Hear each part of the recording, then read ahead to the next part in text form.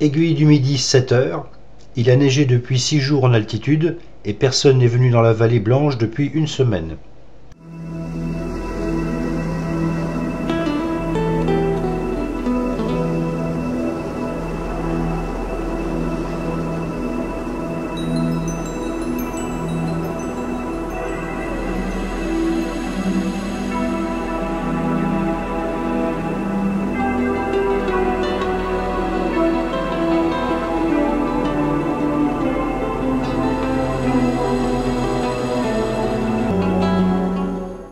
Mettrons 2 heures pour aller jusqu'à la Rimée, 45 minutes habituellement.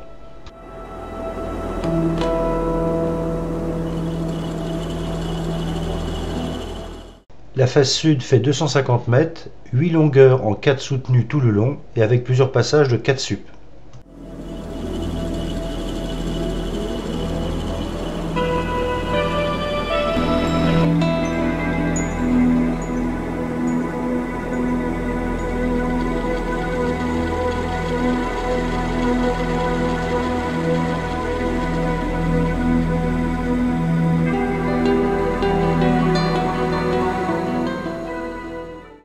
Une bonne neige bien poudreuse.